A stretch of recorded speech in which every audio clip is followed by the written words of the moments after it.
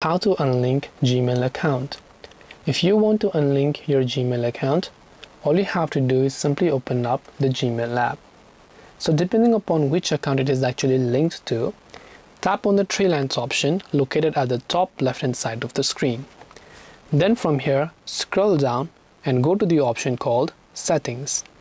Once you're here under settings, if one of your email is actually linked with each other, you'll find the option over there called linked with this particular account. But if not, you can also select that and if you scroll down all the way to the bottom, you'll find the option to unlink that email. Otherwise, if you're talking about syncing, then you can also tap on or uncheck this option called sync Gmail. But if your account is linked, you'll find the option to unlink it. So hope this video helped you. If you have got any more questions, feel free to also leave them down below.